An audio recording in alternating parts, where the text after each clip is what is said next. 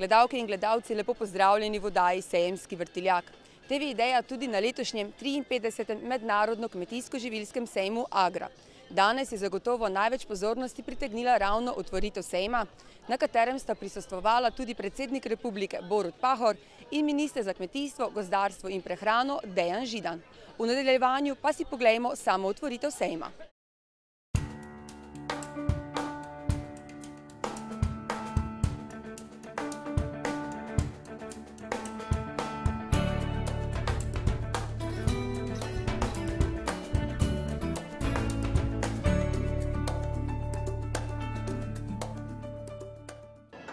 Triinpetdeseti mednarodni kmetijsko-živilski sejem Agra je v Maneži svečano odprl predsednik republike Borut Pahor, ki je izrazil zadovoljstvo nad tem, da sejmi kljub sodobnim komunikacijskim tehnologijam niso izgubili svoje vrednosti.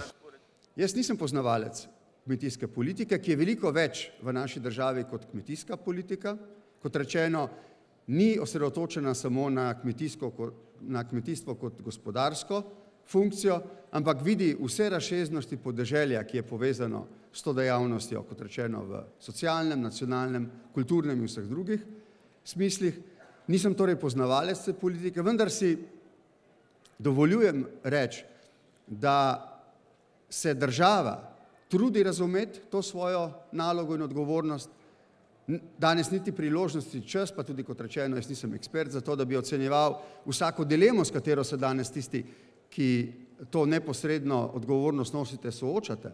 Ampak moja, moja presoja je, da je slovenska kmetijska politika, da slovenska kmetijska politika poskuša po svojih najboljših močeh odgovarjati na dileme, stiske, priložnosti tistih, ki od nje živijo in ne nazadnje od vseh, in vseh nas. V tem smislu se, se mi zdi zasluži tudi podporo, ker ni v lahkem položaju. Razume, da je tukaj deljena odgovornost med državo na eni strani in seveda vsemi tistimi, ki živijo na podeželju, zlasti pa tistimi, ki se s kmetijstvom kot gospodarsko dejavnostjo ukvarjajo.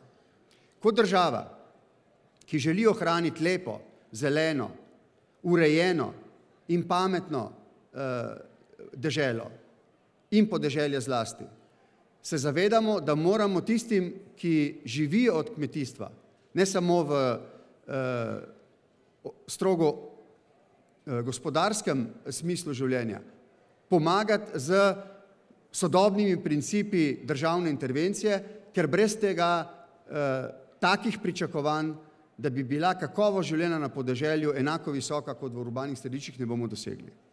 Na drugi strani je potrebno seveda vedno znova vedeti, da morajo tisti, ki delajo v kmetijskem sektorju, razumeti, da ni vzdržno dolgoročno živeti samo od državne intervencije ali državne politike, ampak da se je treba truditi za konkurenčnost. In kolikor res lahko presodim, nekdo, ki ni poznavalec, je pa na neki način soodgovoren za to, da ima država pravo politiko do podeželja in do kmetijstva, se mi zdi, da se v tem smislu tudi vsi akterji, subjekti trudijo za to. Ni lahko, zlasti v okoliščinah, ki so jih moji predgovorniki že omenjali. Vendar se mi zdi, če lahko leta dva tisoč petnajst ob triinpetdeseti izvedbi tega sejma pogledamo nekoliko v prihodnost in pogledamo zlasti v tisti del prihodnosti, na katero mi lahko vplivamo kot Slovenci, kot slovenska država, kot slovenski kmet, gospodar, mlad, družine in vsi, da je ta problem, s katerimi se soočamo, kot ena izmed osemindvajsetih držav Evropske unije obvladljiv, da smo na relativno dobri poti in da ob sodelovanju obeh, države na eni strani in vseh drugih deležnikov na drugi strani, razumevanja tega tega sorazmerja in odvisnosti, da lahko uspemo v prihodnje. Na otvoritveni slovesnosti je spregovoril tudi predsedujoči Svetu za kmetijstvo in ribištvo Evropske unije Fernand Edgen, ki ga v Sloveniji gosti minister za kmetijstvo, gozdarstvo in prehrano Dejan Židan. Ta je poudaril, da je sejem Agra hkrati priložnost za inventuro kmetijske politike. Lansko leto je bila predvsem temu namenjena, da smo hvalili vodstvo sejma, kako je vztrajno in pridno, da sejem še vedno živi. tako da te nevarnosti, da bi slišali ponovno te besede, letos ni. Poglejmo pa, kaj smo letos naredili. Letos je bila Slovenija ena prvih držav Evropske unije, ki je pričela izvajati nov program razvoja podeželja. Ljudje, ki ne živijo znotraj kmetijstva, ne razumejo, kaj to pomeni. Bili smo ena prvih držav, ki je pričela izvajati program razvoja eh, kmetijstva, ki v Slovenijo prinese na leto 300 milijonov evrov. In zamislite vsi, da je bili v skupini držav, ki je večinska, ki enostavno ni dobila odločbe, da je program potrjen. In seveda po naši lepi navadi se, na, se o tej temi nismo znali pohvaliti. In v tem trenutku nova kmetijska politika v Sloveniji se izvaja. V tem trenutku smo tako daleč, da na nekaterih področjih, kot je sadjarstvo, kot je zelenjadarstvo in še marsikaj drugega, iščemo še dodatne rešitve, kako dodatno poenostaviti in verjamem, da te rešitve bo svet za kmetijstvo, slovenski svet za kmetijstvo obravnaval že 8. septembra. V letošnjem letu smo tudi uspeli narediti pomemben korak na področju, ki predstavlja za marsikatero slovensko kmetijo možnost, da preživi kljub svoji majhnosti. To so dopolnilne dejavnosti. Na področju dopolnilnih dejavnosti v tem trenutku imamo registriranih čez 15 tisoč dopolnilnih dejavnosti, s katerimi se ukvarja nekaj manj kot 5 tisoč kmetij, torej posamezna kmetija lahko ima več dopolnilnih dejavnosti, smo naredili bistveno zmanjšanje administriranja. Pomembno manj papirjev je potrebno, pomembno manj soglasij in pomembno manj certifikatov in pomembno več stvari lahko kmetija počne. Vključno prvič tudi stvari na področju socialne zaščite, recimo starejših ljudi. Letos nam je uspelo nekaj, za kar smo se borili mnogo let. Uspelo nam je, da kmet več prisilno ne vodi knjigovodstva. Kmetje, smo, kmetje so edini sektor, tudi kmetijstvo je gospodarstvo, ki se lahko samostojno odloči, ne glede na velikost, ali želi voditi računovodstvo ali ne želi voditi računovodstvo. S tem verjamem, da smo administrativno razbremenili več kot tisoč slovenskih kmetij. Na otvoritveni slovesnosti so spregovorili tudi predsednik Kmetijsko-gozdarske zbornice Slovenije Cvetko Zupančič, predsednik Zadružne zveze Slovenije Peter Urisk in župan občine Gornje Radgona Stanislav Rojko. Predsednik uprave Pomurskega sejma Janez Rijavec pa je kot gostitelj povdaril, da je Agra 2015 največji gospodarski, strokovni, politični in družabni dogodek v Sloveniji in tem delu Evrope. Gospodarski zato, ker na njem sodeluje kar 1785 podjetij in inštitucij iz 30 držav, ki predstavljajo steber slovenskega kmetijstva, podeželja in preskrbe s hrano. Strokovni zato, ker se na njem zvrsti 150 strokovnih dogodkov, povezanih s prikazom dosežkov kmetijske stroke, ponudbe znanja in izkušenj za nadaljni razvoj. Politični zato, ker se tukaj predstavi slovenska kmetijska politika in usmeritve evropske kmetijske politike in seveda gospodarstva. In ker si nobena politika ne more privoščiti, da bi ignorirala kmetijsko politiko, razvoj podeželja, proizvodnjo in oskrbo s hrano. In ne nazadnje je tudi največji družabni dogodek, na katerem 130 tisoč obiskovalcev najde svoje prijatelje, stanovske kolege, nove znance in se sooča z družabnimi in tekmovalnimi prijeditvami. Sejem Agra 2015 letos namenja posebne povdarke mednarodnemu letu prsti, metulnicam kot osnovi rodovitnih tal, industrijski konoplji kot rastlini tisočerih priložnosti, zeliščem in aromatskim rastlinam, ekološkemu kmetijstvu in prehrani, hrani iz naše bližine in lokalni prehranski oskrbi, gozdu in lesu kot nacionalnemu bogatstvu ter kmetijski tehniki za varno in okolju prijazno kmetovanje.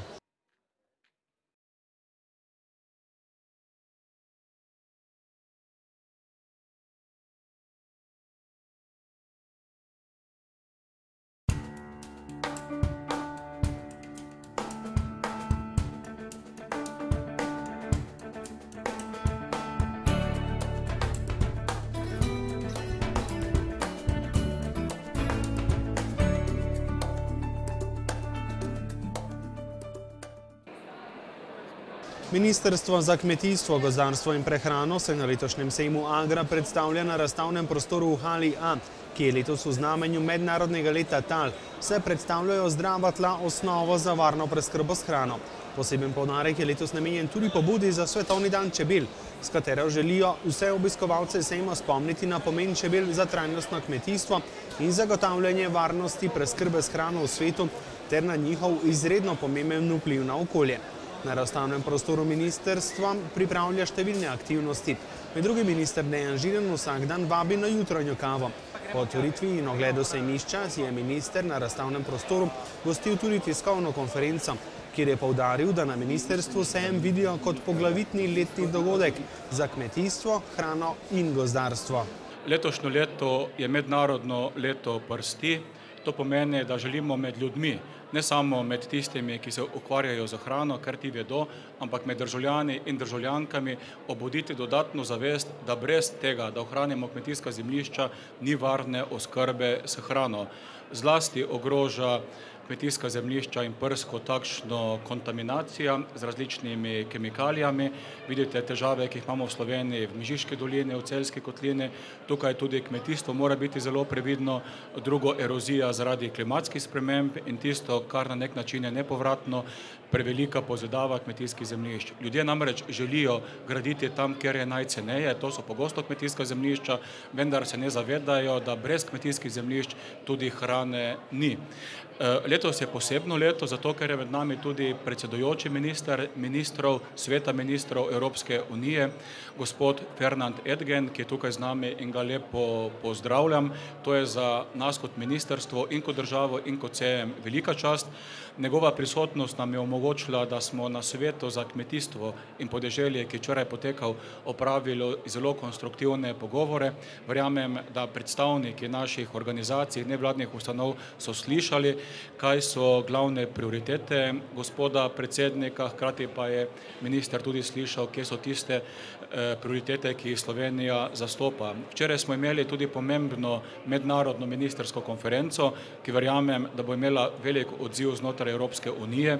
To je ministrska konferenca, kako živeti brez genetsko spremenjenih organizmov, kako dati potrošnikom to, kaj si želijo in si zaslužijo. Torej, vedenje, za čim se prehranjujejo in maksimalno prehransko varnost.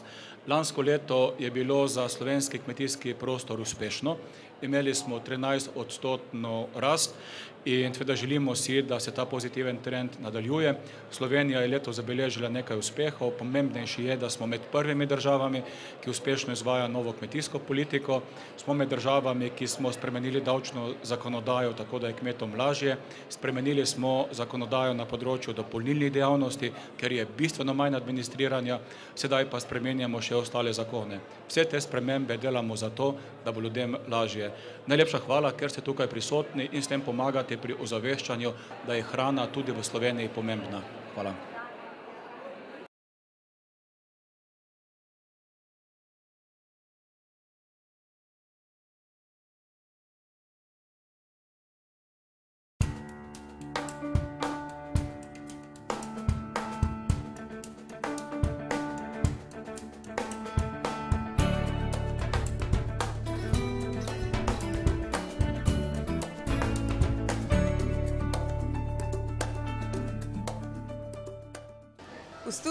Pozdravljam Matejo Jaklič, izvršno direktorico sejma Agra. Lepo pozdravljeni.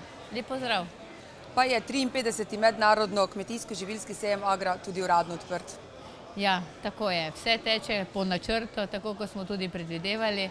Prišli so vse delegacije, ki smo jih tudi povabili. Predsednik države je res bil zelo, zelo navdušen nad samim sejmom. Z veseljem si ga ogledal, celo nekatere, neke stvari več, kot smo pričakovali. In bil je res tega mnenja, da kmetijstvo je tisto, kar pravzaprav moramo vsi negovati, kajti brez pravega kmetijstva enostavno bomo malo, malo težje preživeli v teh in tudi v prihodnjih časih. Povejte nam, kakšna so pričakovanja letošnjega sejma? Ja, zagotovo so pričakovanja nas, organizatorjev, in nenazadnje seveda številnih razstavljavcev, ki so se letos res odzvali našemu povabilu v večjem številu, kot smo nekje v lanskem letu imeli in kot smo pravzaprav skoraj, lahko rečem, pričakovali in zato se res ne na zadnjem takoj zdaj takoj zahvalimo, da je bil tak dober odziv.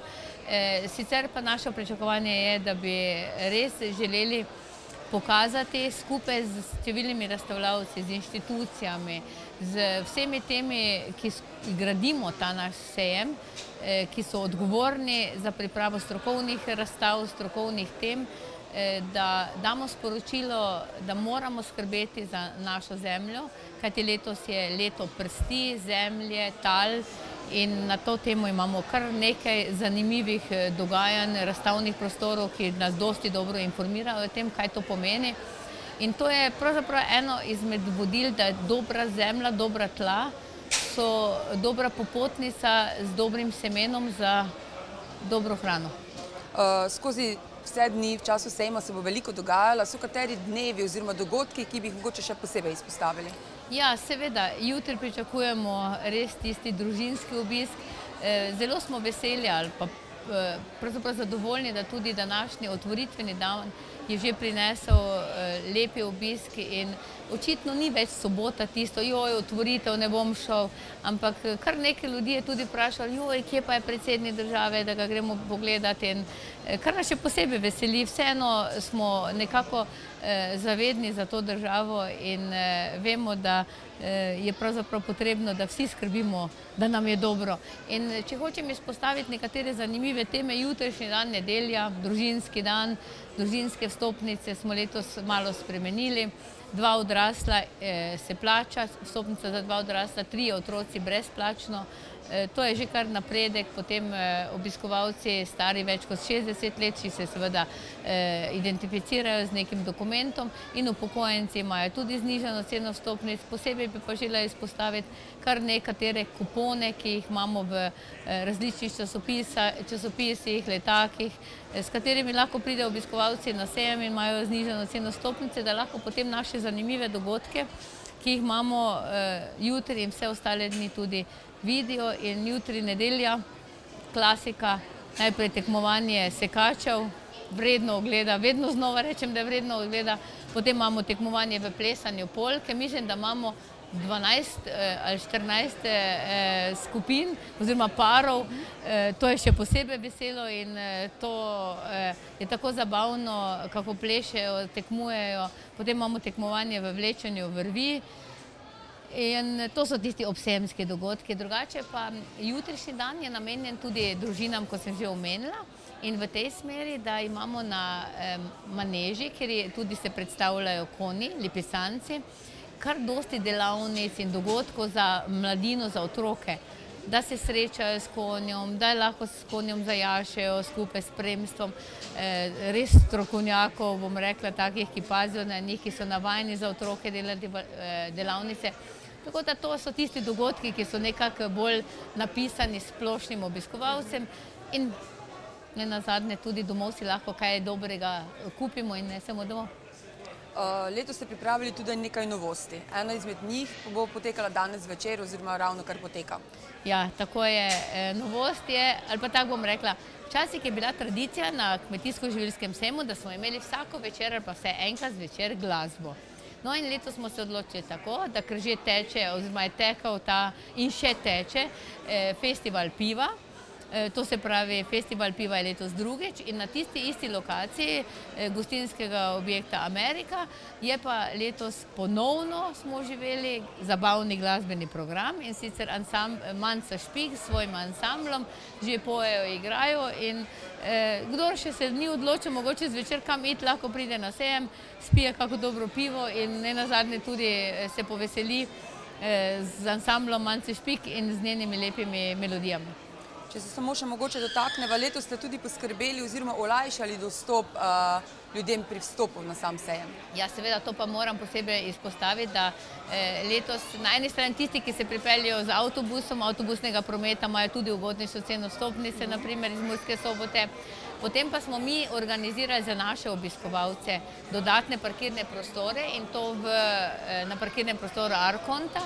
In potem imamo sejemske avtobuse, ki vozijo neprestano, torej od desetih dopoldne pa do šestih zvečer bodo neprestano dva sejemska avtobusa krožila, tako da ni treba se bati obiskovalcem, da ne bi imeli kje parkirati.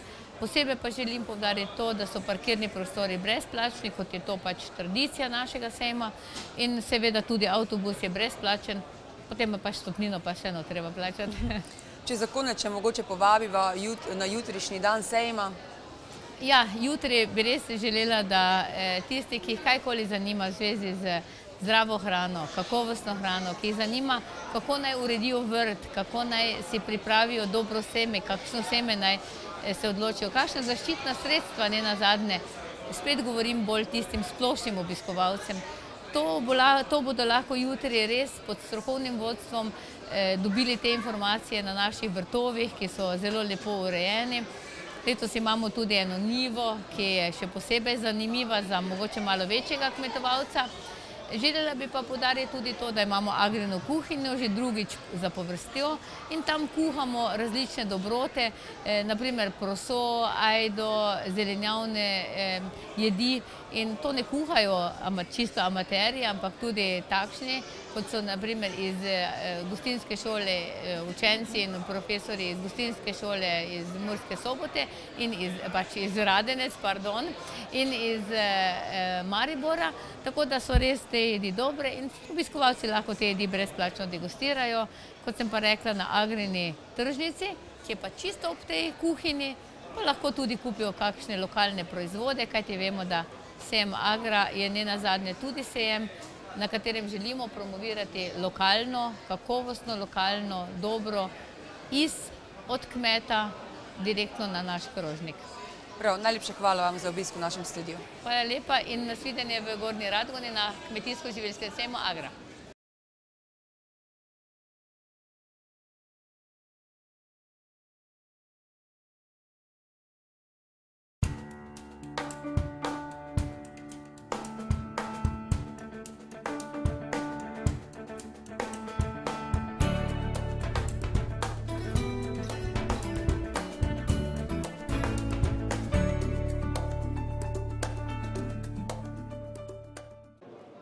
Danes je v sklopu sejma Agra v Hali B na razstavnem prostoru Kmetijsko-gozdarske zbornice Slovenije potekal podpis sporazuma o sodelovanju Kmetijske zbornice Mađarske župnije Zala in Kmetijsko-gozdarske zbornice Slovenije območne enote Murska sobota. Danes smo podpisali sporazum z območno Kmetijsko zbornico Mađarske. Se pravi, ta gospa je tudi podpisala z pooblastili Mačarske zbornice, se pravi Budimpešte. In ta sodelovanje pomeni tako na, v prvi vrsti na prenosu informacij, potem v nadaljevanju, potem uh, zbliževanja predstavitve uh, kmetijstva na Mačarskem, potem predstavitve kmetijstva v Sloveniji, se pravi razlike, prednosti, možnosti in pa seveda potem v nadaljevanju tudi kakšno gospodarski posel. V mislih kot gospodarski posel pa imam uh, razne Evrope, uh, evropske projekte, uh, skupne kmetijske politike, ki prav to podpirajo, se pravi deželno sodelovanje, medregijsko sodelovanje in tukaj predvsem na področju prekmurja je to sodelovanje možno, potrebno in jaz mislim, da imamo kar nekaj stvari na mačarski strani, ki bi jih mi lahko vzeli kot dober primer v Sloveniji in tudi obratno, se pravi, tudi mi imamo določene uh, zadeve z področja kmetijstva, ki bi jih tudi mačarska z zanimanjem uh, povzela. Tako da ta sodelovanje samo odpira možnost, se pravi vrata, da se uh, en in drugmo, drugi vemo, kam obrniti in da imamo pravega sogovornika na drugi strani bi lahko med eh, slovenskim, oziroma pomorskim in mačarskim kmetijstvom potegnili kakšno črto, sta si podobna? Ja, seveda, podobna sta si, v, če vzamemo prekmurski prostor, pa mačarski, predvsem po poljedelstvu. Se pravi, obe, oba bazena sta izrazito poljedelska. In uh, tukaj je kar nekaj takih in drugačnih istočnic. Seveda, drugo je pa tudi program razvoja podeželja. Eh, tukaj so možnosti, ko vemo, obe države imajo muro, obe države imajo eh, na nek način eh, mejijo in jaz vidim tukaj pač to medsebojno sodelovanje kot možnost, sploh pa sedaj, ko ni v Evropi pač meja. Omenjeni podpis pa je velikega pomena prav za območno enoto Murska sobota. Danes smo podpisali ta sporozum o nameri sodelovanja in to so vrata na široko odprta, je pa odvisno od nas, kako in kaj bomo dejansko iz tega naredili. Mislim, da so vsi želimo dobrega sodelovanja na vseh področjih, najbolj pa na kmetijskem področju, to, kar se tudi v te regije Zala in seveda tudi Pomorja želita. Potencijali za sodelovanje obstajajo? Absolutno, absolutno. To je sodelovanje v izobraževanju, izmenjanje izkušenj, praks in še marsikaj drugega, kar bi mogoče tudi danes še ne vemo. So vrata na široko odprta, vsem pod sporazumom.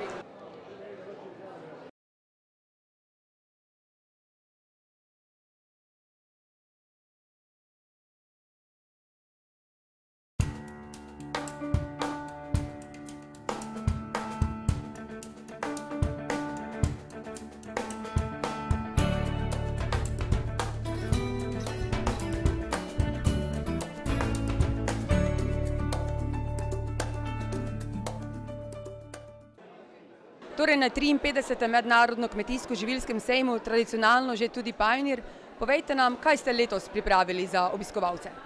Ja, kot vsako leto smo tradicionalno na tem sejmu, mislim, da to je 21. leto, v hali B na isti lokaciji, mislim, da pridelovalci kmetje, naši poslovni partnerji nas poznajo. Vsako leto mi na, za sejem pripravimo nekaj novosti, tudi v letošnjem letu je tako.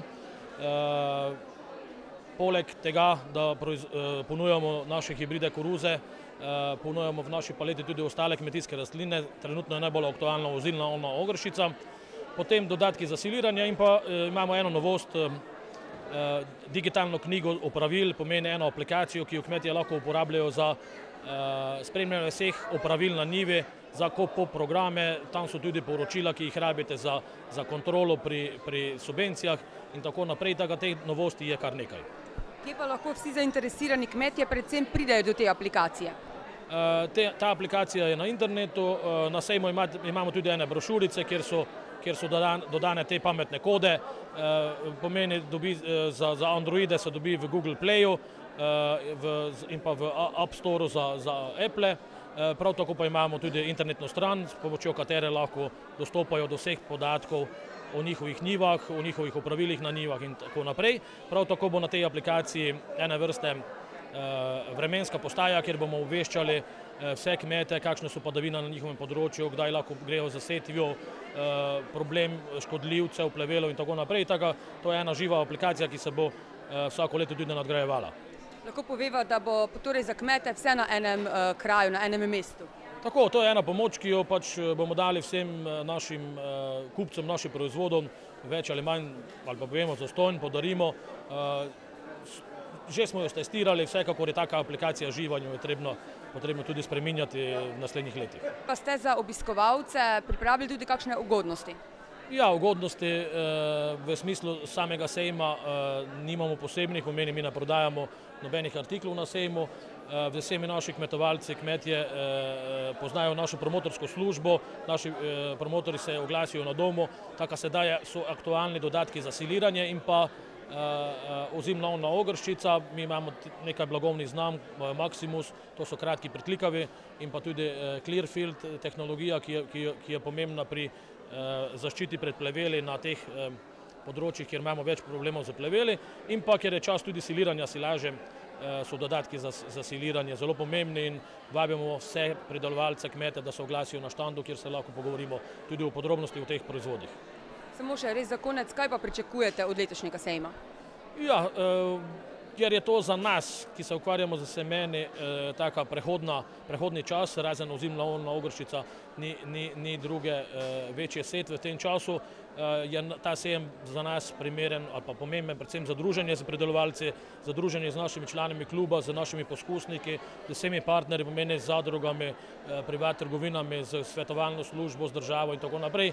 V bistvu je sejem za nas ena družabna prireditev, v kateri se družimo z vsemi partnerji, ki sodelujemo tokom leta.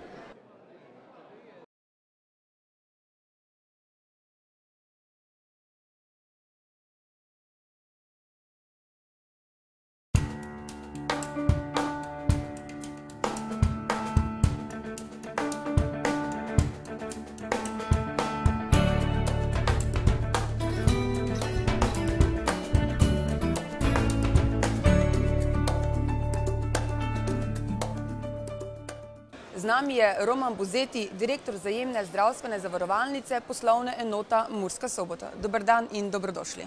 Dobar dan. Uh, šolske počitnice se počasi približujejo k koncu, to pa je tudi čas sejma Agra, na katerem ste tudi letos prisotni.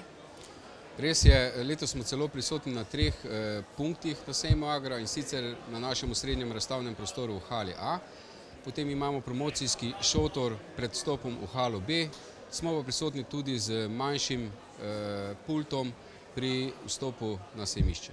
Kaj vse ste pa pripravili letos za obiskovalce sejma?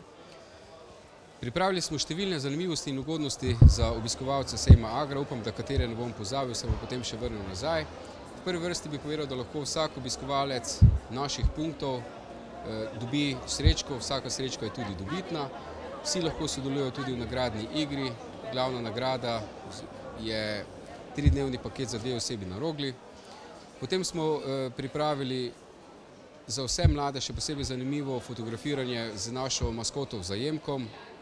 Naša maskota Vzajemko je poznan že v vseh večjih dogodkih v Pomurju, je bila z nami, tudi lani na sejmu Agra, tudi na družinskem pikniku v Murski soboti in mladi ga zelo eh, dobro sprejemajo, tako da se lahko z njim fotografirajo in čez nekaj minut že dobijo tudi brezplačno fotografijo. Potem smo pripravili kupon v vrednosti 10 evrov za vsa naša akcijska zavarovanja, ki jih sklenejo v času sejma Agre, to je za nezgodna zavarovanja, družinski multitrip, zavarovanje teže bolezni in pa zdravstvena polica. Seveda lahko vsi tisti, ki so naši zavarovanci, eh, koristijo tudi ugodnosti iz programa Varuh zdravja, o tem bomo kaj več povedala tudi kasneje. Na naših razstavnih točkah dobijo vse informacije, tudi vsa zavarovanja lahko sklenejo, za vsako sklenjeno zavarovanje pa prejmejo še kupon za sladoled in mislim, da je to v tem času zelo zanimivo. Sami ste že omenili sladoled, eh, torej ga prejmejo tudi pri sklenitvi zajemnjenega nezgodnega zavarovanja za otroke in mladino. Tudi takrat, če ravno je letna premija res nizka oziroma je zelo ugodna, tudi ob tem zavarovanju prejmejo eh, sladoled oziroma kupon za sladoled in mislim, da ravno pri tem zavarovanju je, to, je ta ugodnost, ta, to darilo zelo dobrodošlo. Eh, čeprav poletne počitnice še trajajo, pa lahko starši že pred začetkom šolskega leta marsikaj uredijo za otroke, tudi recimo eh, že omenjeno vzajemljeno nezgodno zavarovanje za otroke in mladino. Tako je, marsikdo eh, je to zavarovanje uredil že junija, julija in tudi že začetkom augusta pri vzajemni. Naši zavarovanci, ki jih je vsako leto več, so že za to nekateri poskrbeli, sicer pa je zdaj pred šolo to pravi čas, eh, seveda tudi kasneje v mesecu septembru, ampak mogoče je bolje, da se starši eh, teh skrbi in za to zavarovanje poskrbijo preden se šola začne, kajti takrat je na naših starševskih glavah ogromno stvari in je mogoče prej kako stvar že dobro odkljukati. Eh, ponudnikov nezgodnih zavarovanj za otroke in mladino je v Sloveniji kar nekaj. Po čem se razlikuje vaša ponudba? Zakaj se naj odločijo za vas? No, zajemljena ponudba je cenovno ugodna. Poleg eh, klasičnih kritij, nezgodnih kritij, seboj tudi nekatera zdravstvena kritja. Eh, to je prva stvar. Druga stvar, eh, za vse športne aktivnosti so ti riziki že vključeni v premijo, torej ni nobenih odbitkov pri izplačilu, razen je zavarovalna sota omejena pri nekih adrenalinskih tveganih športih in aktivnostih oziroma pri res vrhunskih športnih aktivnostih. Kaj torej krije nezgodno zavarovanje za otroke in mladino?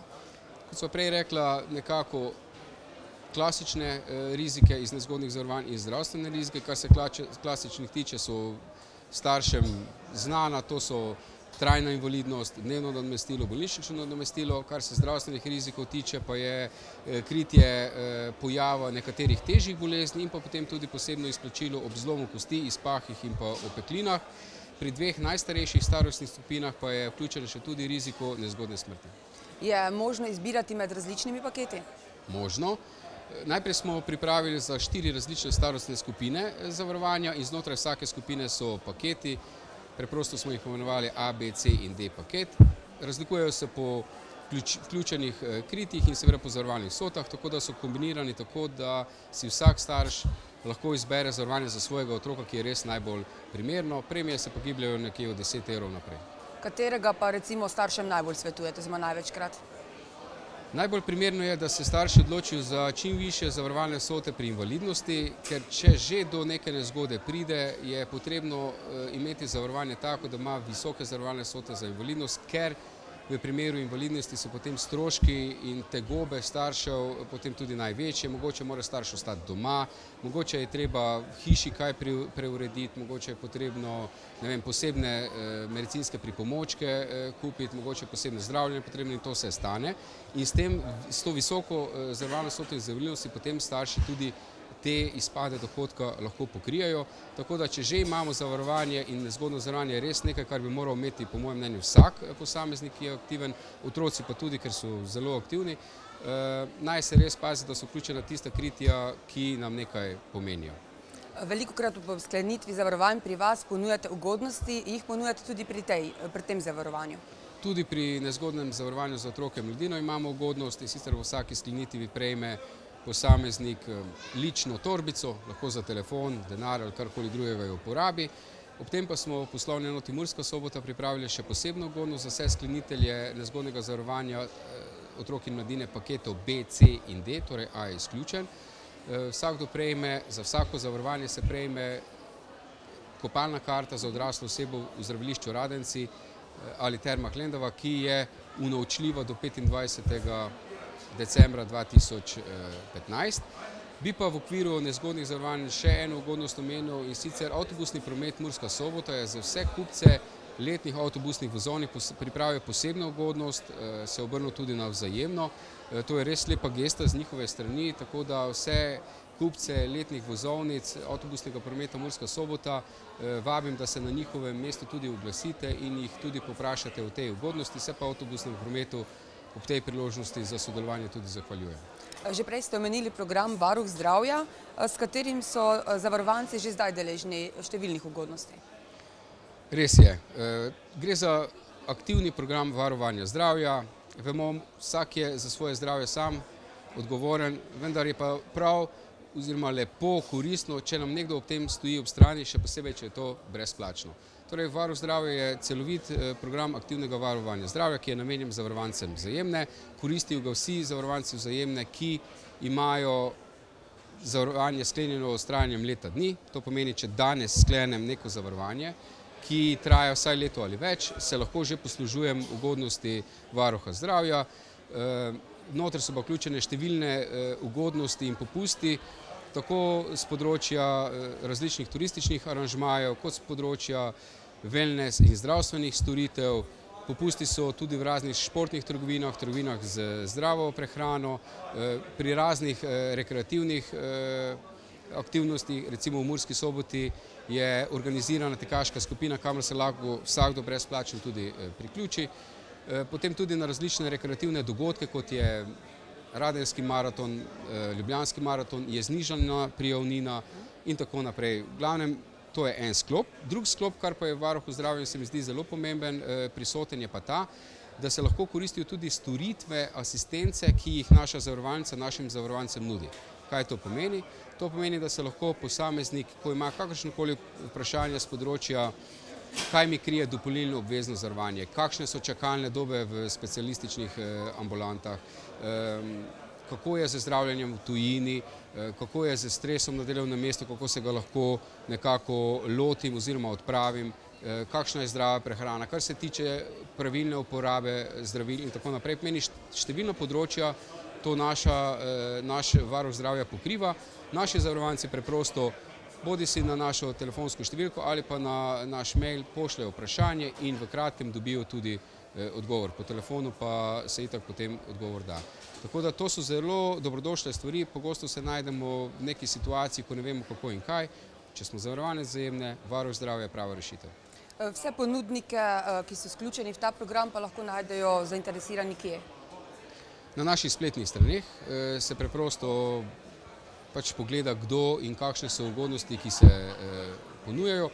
Bi pa poudaril, da je v Pomurju kar precej ugodnosti tudi v varuha zdravja vključenih. Številne terme in zdravilišča s Pomurja so vključena in ponujajo svoje ugodnosti, Panonska vas, hotel Diana, Galex, naravno zdravljanje, Vito iz Gornje Radgone, trgovine kot so Freerider, Gajo Šport, Bioteka, potem društva, ki se ukvarjajo z športom, plesom, recimo plesni klub Zeko, športno društvo Spin iz Spartakusa, Fit z Andrejo iz Gornjega Kokonišča in če so že na sejmu Agra, naj povem, da imajo zavarovanci vzajemne, ki so vključeni v varuha zdravja, tudi znižano stopnino na sejem Agra.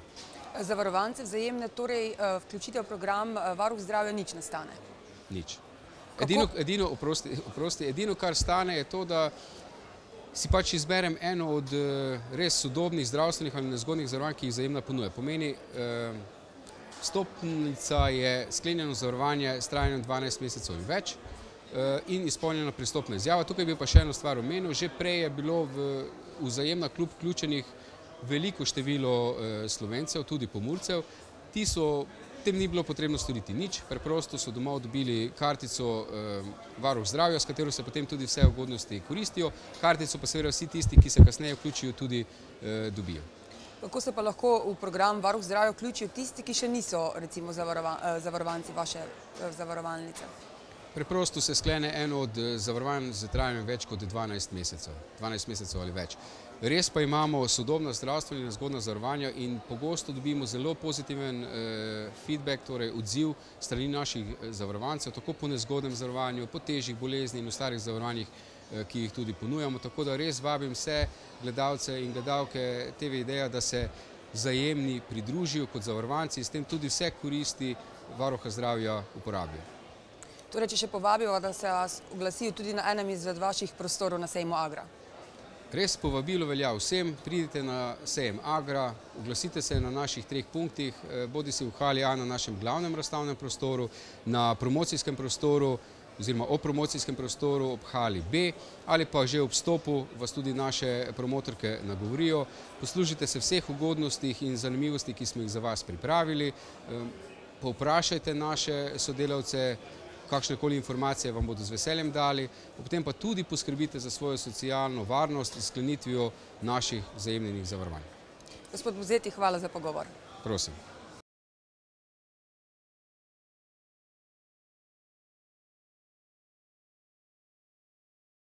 Gledalke in gledalci, hvala za vašo pozornost. Z naši družbi v oddaji Sejemski vrtiljak pa bodite tudi jutri.